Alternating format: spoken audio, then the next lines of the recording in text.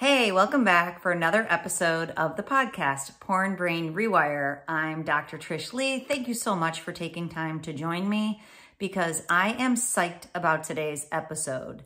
It is called Pushed into Porn, the three main types of stress that will push you. So we are going to break down, first of all, how porn pulls you in. Just to remind you, it has a pull. So then if you have something that's also pushing you in, you're toast because the push and the pull can be very, very difficult to overcome, especially at the beginning phases of a porn brain rewire. So I'm going to remind you of the pull, number one, and then number two, I'm going to break down the three main types of stressors that will push you in because this is what you have to look out for in the short run and definitely in the long run because these stressors are the ones that people will say to me, I don't know why I relapsed. It came out of the blue. No, it didn't. Something broke down. I'm going to help you figure that out today. Then, of course, the third thing we're going to do is your brain hack strategy on how you can avoid this push. And an important aspect is this is going to be something that is above and beyond those first three stressors. So let's dive in. Okay, number one, we're going to talk about that porn pulls you in. It's designed to do so.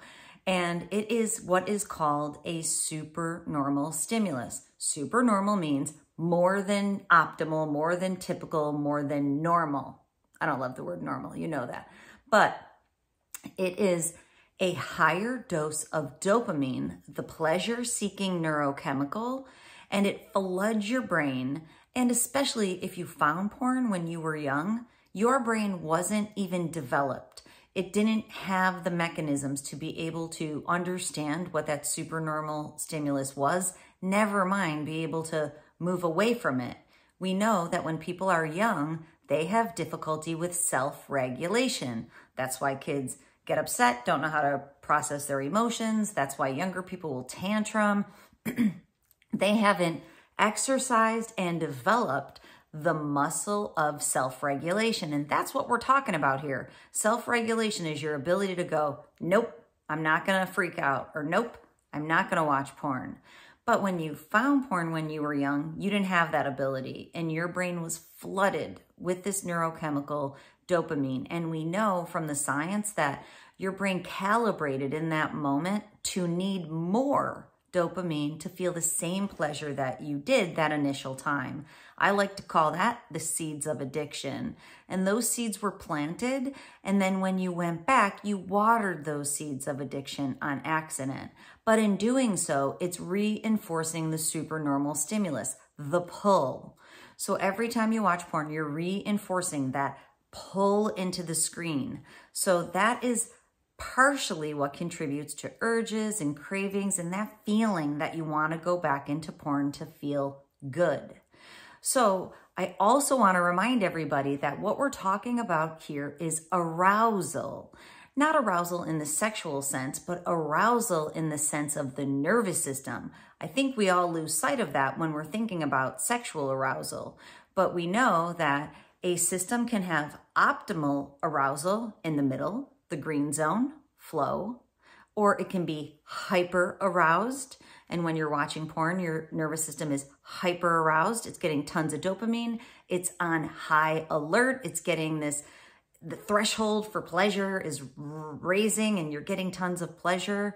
Um, it is hyper arousal. That's why we know that a porn habit is one of hypersexuality because your brain gets used to this big, big dose of arousal. So that's also going to get be that feeling of adrenaline when you're doing something that charges you up. It's going to be that wired feeling. I know the the way that this mostly plays out for me is after I've had lots of meetings in a row, you know, then I'll meet my husband for dinner and I'll be like, brr, brr, brr, and he's like, what is going on? He's like, take a breath calm your mind. He was doing to me the other day, but he was wrong. I'm like, what are you talking about, bro? I'm chill right now.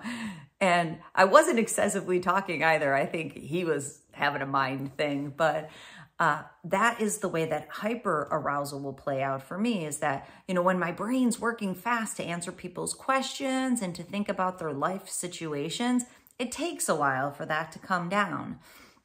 In the worst sense, hyperarousal becomes that brain that never shuts off in the mind. It's you're constantly thinking, you have intrusive thoughts, those voices in your head will not be quiet, and it goes on and on. Significant hyperarousal.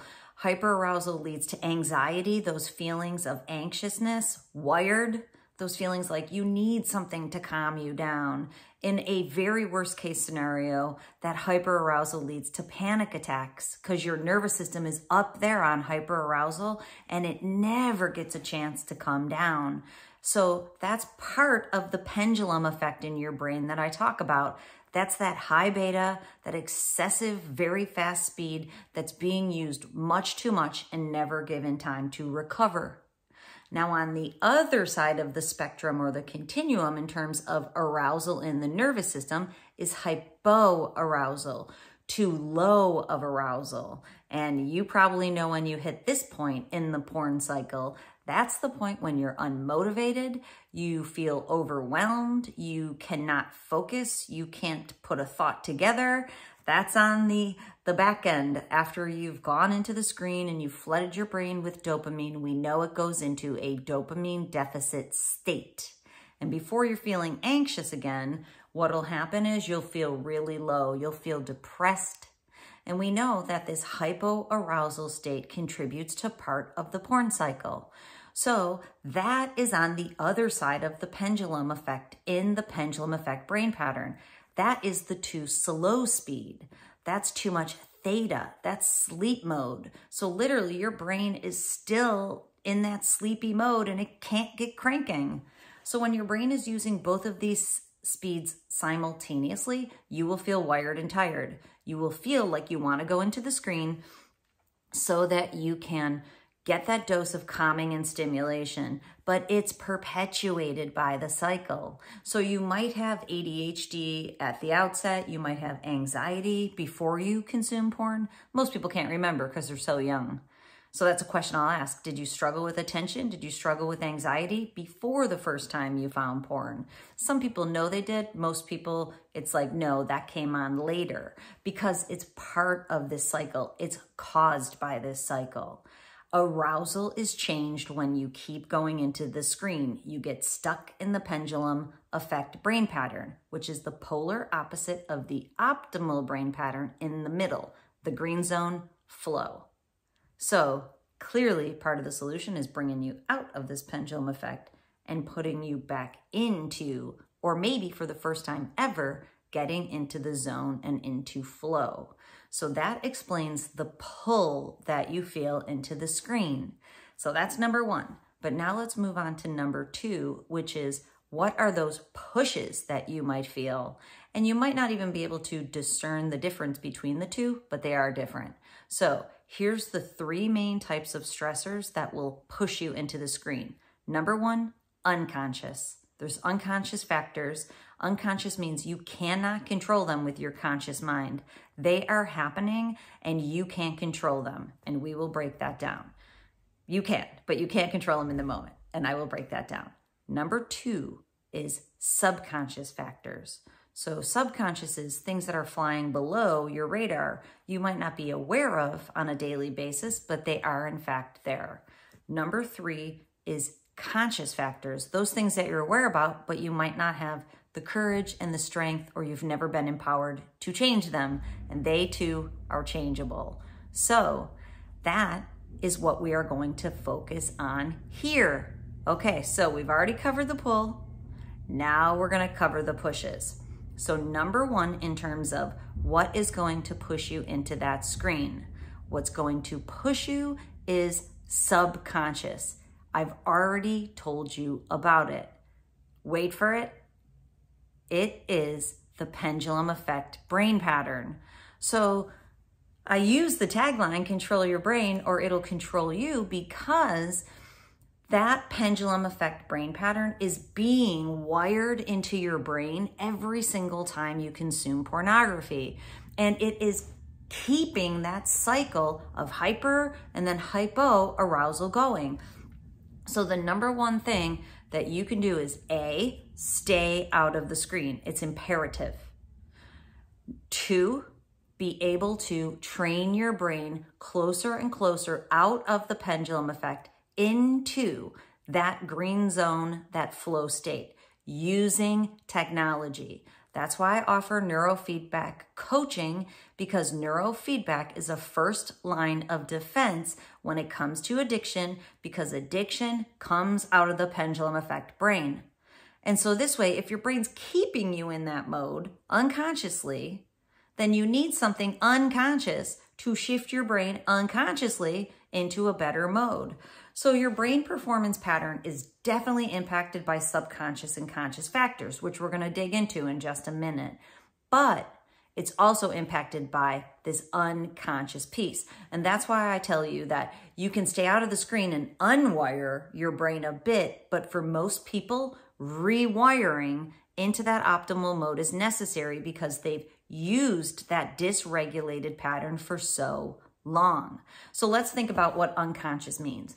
Unconscious is part of the brain aspects that at our cortical levels, where I usually talk about up at the cortex, the higher areas of the brain, there is easier ability to be able to shift what's going on. They're using neurofeedback.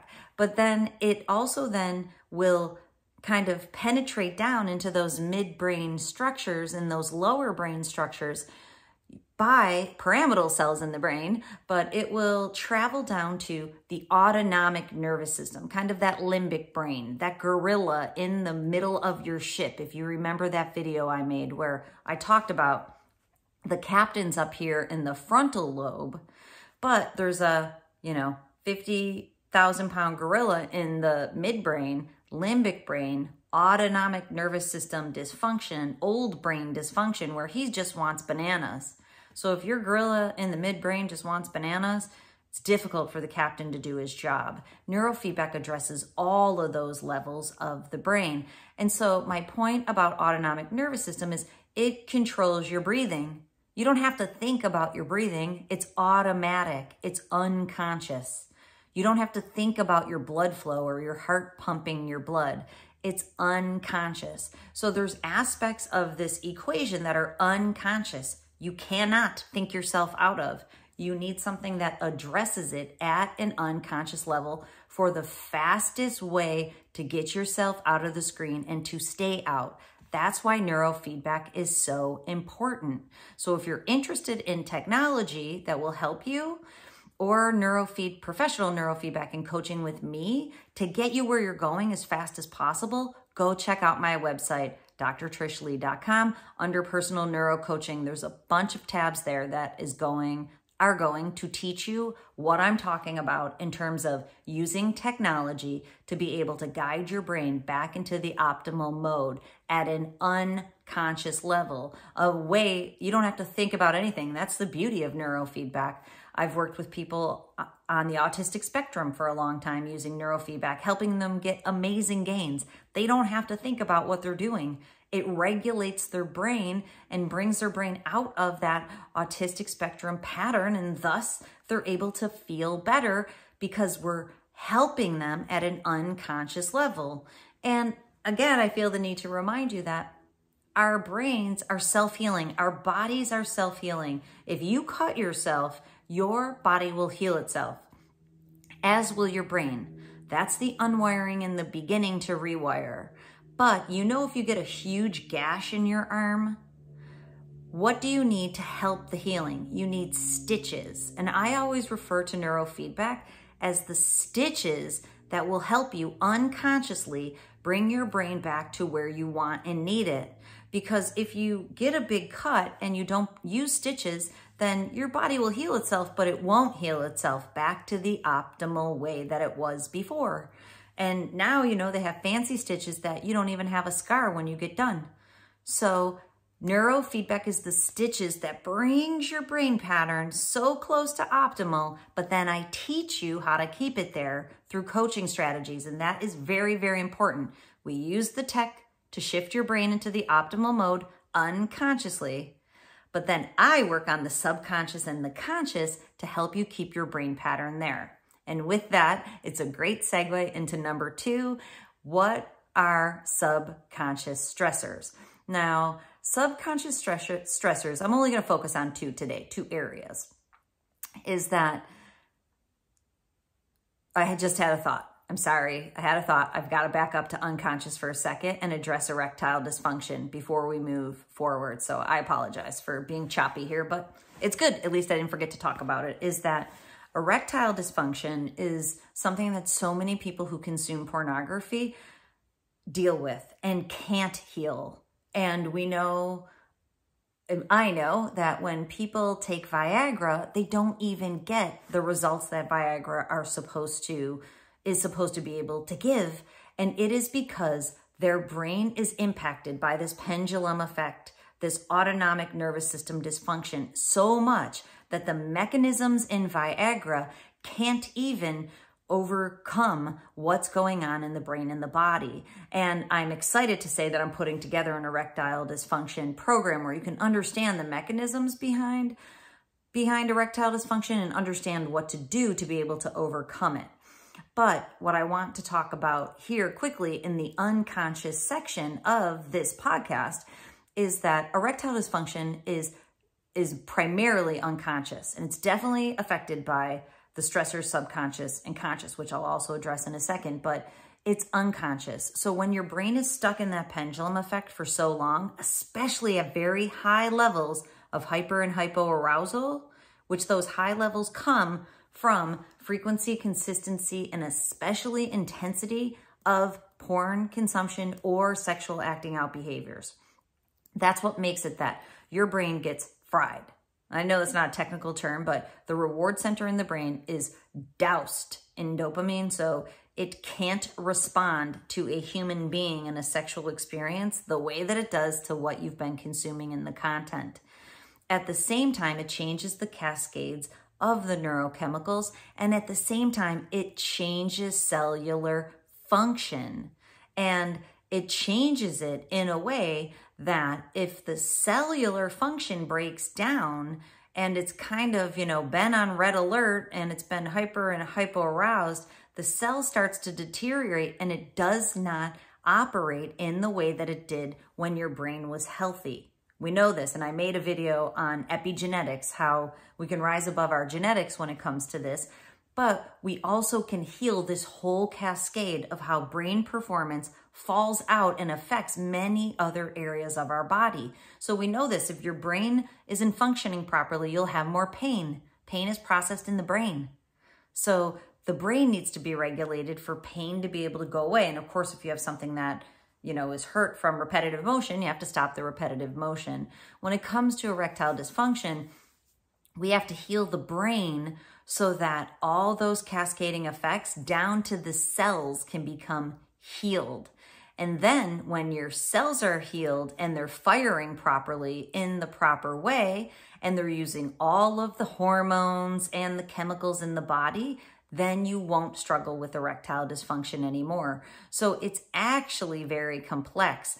And Viagra becomes the band aid, but neurofeedback becomes the stitches. And that's the reality. Your brain needs stitches to be able to heal itself. And then there's other things you can do, which I'm putting together to be able to boost the whole system so that it's working properly again. But it starts in the brain.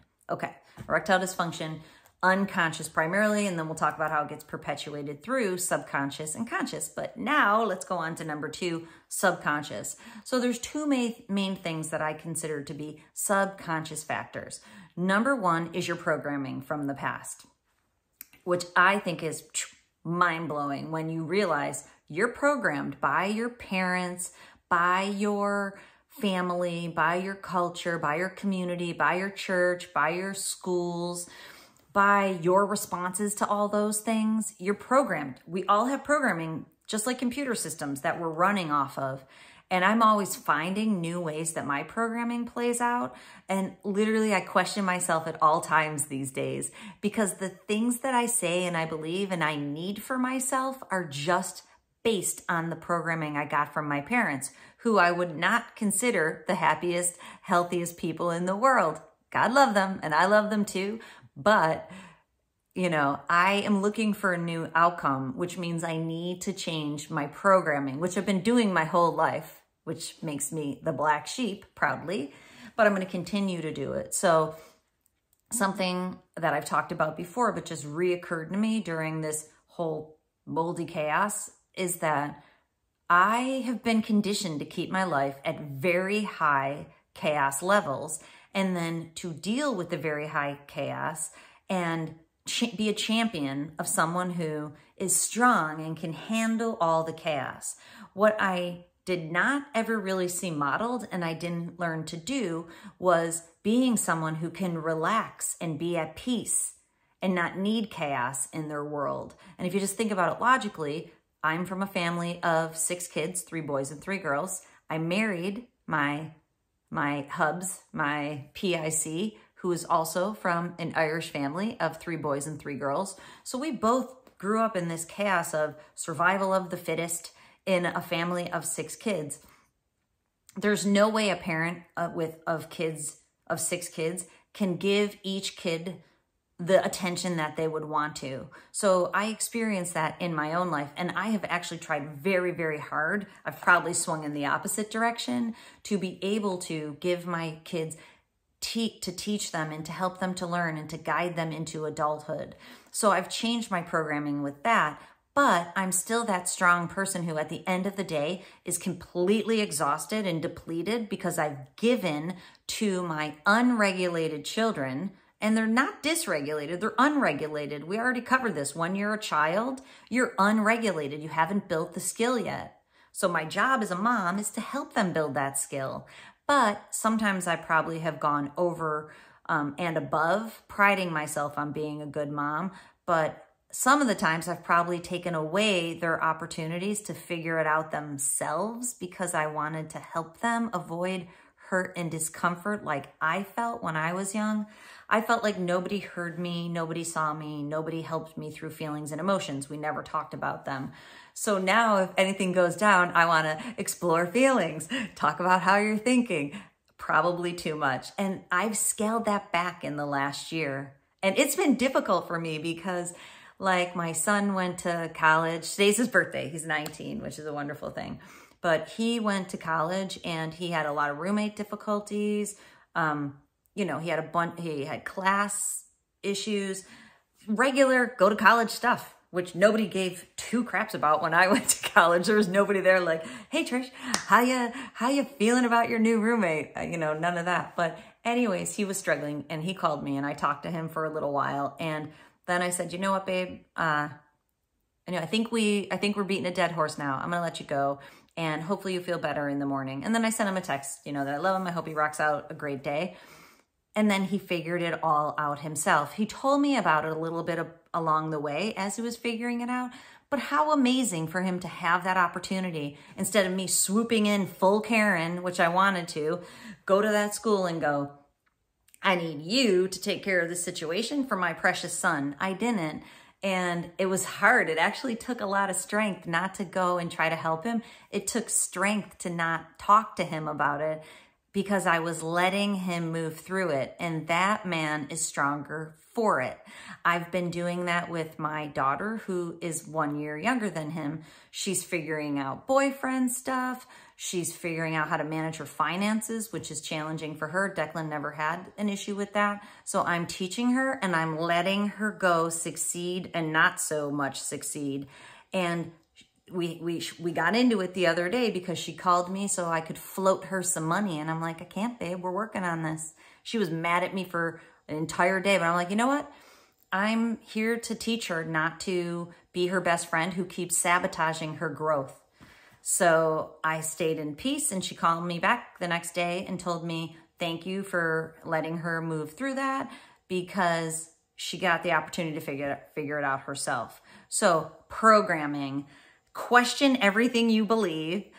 When you go to default in a certain way, think if it's leading you towards the outcome because the, you know, I won't say smothering, but, you know, responding too much to my kids' needs, which was the swinging really far from what I got when I was a kid, that wasn't good for them or me. It exhausted me. So I had to swing myself back from that. So, you know, I did question my programming in the past, but then I went too far in the opposite direction, which led me to question it again, which has brought me back constantly questioning your belief systems and realizing you probably didn't build a lot of them yourself. But what it does is it gives you the opportunity to start building your own belief system and and anchoring into it like an anchor in the storm, no matter what other people think. So my thought system now is very different from my family's thought system, my parents and my siblings. And, you know, they don't love my thought system, but that's okay because my thought system is bringing me to where I want to go. And so it's important that I live my life based on my beliefs and the way I want to navigate the world. But I can only establish those when every time I question something, I can create a new way of interacting with people and a new way of respecting myself. So, whatever isn't working for you from the past, figure it out. You can either write it in your journal right now, or more importantly, as moments come to you that you're not loving, then figure it out in those moments. Take the time to go, you know what? I need a few minutes to figure this out. Or, you know, I need a break from this conversation. Um, one more thing that happened with my hubs, he never watches my videos, which gives me liberty to talk about his experiences, which I know he'll be okay. He and Fiona, because of this, oh, my, my middle daughter, um, because of this financial situation, he, she was kind of yelling at him, I guess. He says she was yelling at her. She says he yelled at her first. Who knows? But I know she yells. So I'm sure she was yelling at him. And then he responded by yelling back. And I talked to them both later on. And he goes, You know what? If she's going to yell at me, I'm going to yell back. And I said, Not necessarily, babe. That's not how parenting works. Thankfully, he was open to the, you know, suggestion in the moment. But he realized, you know what? That's how he grew up. That's not what he wants. And he's been working on that a lot with the kids. He, he hardly ever yells. When they were younger, he would yell more because it was just his default mode. That's what he learned. That if a kid does something, the parent has the right to scream at them. And I did not grow up with that. So that is not a rule that I was having in our family. I'm like, you are not to yell at the kids. Um, you know, and of course, sometimes we get dysregulated and we yell. And if we do, then we apologize, which he did apologize to her and they made up. But the point is like that rule, if you get yelled at, I'm going to yell back. That's just programming. Question that because yelling back, if someone attacks you and you attack them back, what do they do? They push harder. Negative feedback loop. So I won't even go there. I will escape before I let myself get wrapped up in that. I'll say, I can't do this anymore. I'm out of here. And then when I come back, I can deal with it. And the other person is regulated also, unless it's one of my precious children. Then I have to go back and help them regulate. You get the point, subconscious. Okay, the second aspect of subconscious is the stuff that's running in your background that you've convinced yourself is not bothering you. So I've also learned this about the example I gave about my programming is that I realized that constantly giving to my kids, even though I prided myself on it, I felt like it was depleting me. And actually, I think it was creating like some micro resentment to myself. Like, like why are you giving them your stuff you know because if my kids wanted anything literally i would exercise this idea of non-attachment which is important to me not to get attached to worldly belongings because it's just stuff but at the same time, you know, to have respect within a relationship, there has to be boundaries. So, like, you know, in the past, my kids would just go into my closet and take stuff that they wanted. And I've had to lay more boundaries like, no, you cannot take that. No, you can't, you can't wear that today, or you can't use that. And and I don't I pride myself on not using the word mine. You know, you'll never hear me say that's mine. But I will say, you know, I I am not going to be doing that. Another thing my kids will say is, you know, you have plenty of money. Like, can't I have a $300, you know, this? Just because I earn money, that doesn't mean I have to give it all to you. And in the past, I'd be like, mm, I've got the money to buy that kid that thing. Why shouldn't I? But it's about boundaries and respect. And when I honor myself by doing what feels good to me, then I decrease those micro resentments and I'm a better person for it. So figure out things that are running in your background. There was another time which I had, you know, a thing going between me and someone else, and it was just eating my mind alive. Every, I, I realized it every time I was in the car, I would just think about this thing. And I, this was a long time ago. I think I shared this story before where I'm like, I said to my husband, I've got to get on a plane and go make this person talk to me, even though the person refused. And I didn't do anything. I just needed to like not have a thing out there with someone. And I couldn't do it. Like I couldn't make that person resolve it. I still can't. It's still out there. And it's a person who I'm intimate, I should be intimately connected to, but you know, I can't make a person come back and figure something out with me. All I can do is extend love to that person. And when I figured out my role in how I was perpetuating the feelings I had, I was able to release myself from that. So ultimately, that thing was literally torturing me in the background, but I didn't even realize it. I'm like, I got this, I got this. And then after I realized, you know, this thing's really bothering me, I had to get get to a place of forgiveness to myself for the part I played and the forgiveness that to the person for the part they played. And then I had to exercise the muscle of, you know, unconditional love for people who aren't treating me with respect. If someone doesn't treat you with respect, it's because of them, not because of you. You can only give what you have. So if you are in the dumps, excuse me, if you're using the pendulum effect brain and you're angry and you're irritable, you can only give what you have. When you give your brain that push, that training into the optimal mode, then you can give love. Love and joy and peace come out of the optimal brain performance pattern. That's the truth. When you're filled with love, you just give other people love. They can't do you wrong. And that's an amazing thing when nothing will run in your background because your brain's in the optimal mode. Then you're able to put that thing at peace and be at peace with someone having conflict with you because you can't control other people. You can only control your responses. We all think life exists outside of ourselves and the world exists outside of ourselves. Life happens within us, within our responses and how we feel.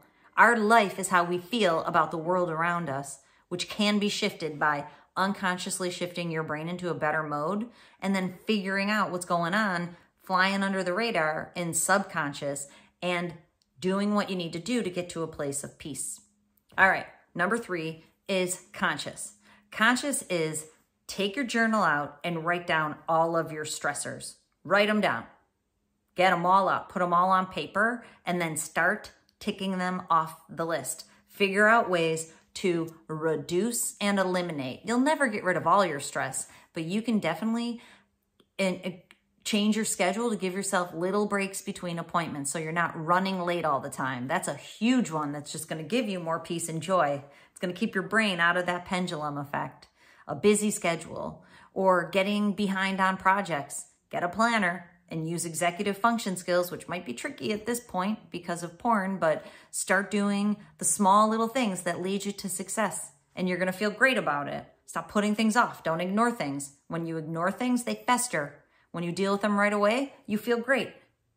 Figure out what your stressors are. If your relationship is suffering, communication is the number one thing to improve your relationship. Get talking about it in a healthy way, which of course is going to require you to unconsciously rewire your brain so that you can show up in those conversations and not let conflict escalate. You can deal with the conflict that's real and get to solution, resolution. So figure out what those conscious stressors, stressors are and try to do as much as you can to reduce them. And put in healthy stress management like workouts, like punching your boxing dummy. I haven't been able to punch my boxing dummy in months and I've not made it to the boxing club because I've moved farther away from it now. Um, but I've been outside doing kickboxing moves I'm in the park. I'm sure my neighborhood thinks I'm an absolute nut job, but I don't care. That's the way that it goes. I'm out there working out, doing jumping jacks, doing push-ups, doing vinyasas, doing kicking, doing punching. I have a whole workout routine that I will do in public now because that's how I roll. Uh, so all of that offsets stress. I'm getting rid of all that fast, extra fast speed in my brain and getting myself back every single day to the optimal mode. Figure out your conscious stressors. And then, like I was talking about with my precious children who literally blow up my phone all the time with things that they want help regulating, I used to answer the phone right away. And the kids don't know this. So kids, if you're if you're listening or watching, I've stopped answering the phone on purpose to give you more time to figure it out because you're all teenagers now. And then I will respond with a text that says, Give me a little bit more information so I can think about it so I can help you. That helps them to think about it. And by the time I talk, they've basically gotten to solution. I've changed that so I'm not on red alert with all my kids' problems all the time. It's a game changer consciously in how much stress there is in my life because I'm not buying into the drama. I'm helping them figure it out. Figure out how you can do these things in your life and make sure you're connecting with people. You know how I feel. You got to get on purpose in your life. When your brain is optimized, you will want to go to work. You need meaning. You need to contribute in a really powerful way. That's what brings your power back and it puts you in your grandeur.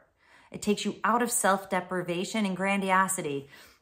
Those are the two extremes. Grandiosity is you need a ton of pleasure to feel okay. Self deprivation is that low, low. Let's get you to grandeur, where you take up your space in the world like you were meant to and you rock it out. Chanel, my best friend, I saw her yesterday at the new little house that we are closing on while our actual house is being um, repaired still. We'll see what happens there. Uh, let the universe guide me. But I saw her and she looked gorgeous. I texted her later on that night.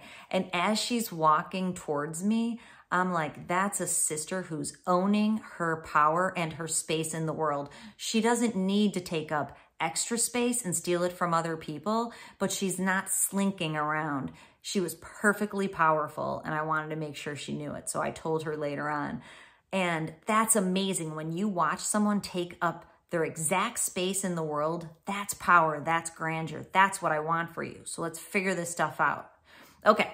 Now, here's your brain hack on how you're to rise above these three stressors and you're to be able to overcome the pull of the super normal stimulus of porn and you're to be able to offset all the pushing from the world because you're going to focus in on your life that's inside of you and your responses to the world. And this is how you're going to do it. Are you ready for it? First of all, you've got to do stressors one, two, and three. Unconscious, subconscious, conscious. That's going to get you really far. That's the main point here. But then there's super conscious. Super conscious is tapping into the energy force of your life, not the world. The world will drain your action. When you tap into unlimited energy, you didn't make yourself. You were created by the energy force that is here as life in the world. And I'm calling it super consciousness. And super consciousness is a level of spirituality, but before you click off, is that it's not religious. It's not dogma. It doesn't have rules except for it is part of your creation and you are part of it. It gives you the energy you need to be able to regulate super consciousness. So if you're going to overcome a super normal stimulus, there needs to be a piece of super consciousness. You're not depending on your own energy because that would be ego. Ego is when you're depending on all your brilliant worldly ideas to get you out of this. When you tap into super consciousness, that's your true self. Your true self knows who you are and who you want to be. And, you know, I call it the force. I'm one with the force. The force is with me. And obviously I call it the universe a lot. But it's God. It's divinity. It's Allah. It's Buddha. It's Yahweh. It's the trees that I used to have behind me and hopefully we'll have some version of sometime soon. The trees behind me in my old office, there's a root system in all trees that connects them. And that's why when trees will communicate with each other under the ground, that is Schumann's resonance that helps energy to be able to flow through the earth, that grounding energy that sets you back into a place of amazement and wonder and being on purpose. the, the butterfly effect, not chasing the butterfly like we talk about with porn, but the butterfly effect. If the a butterfly flaps its wings in the South Pole, it it changes the wind current all the way to the North Pole.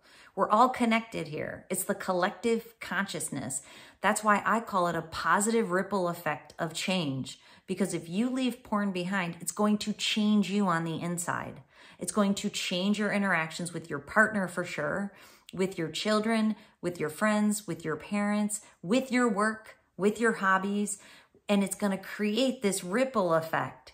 So you're not in this alone. You have to tap into that. That's what super consciousness is. When you're your true authentic self, you're empowering other people to do that also. It's the ripple effect of change, my friend. That's what we are here for, and that's what we are about.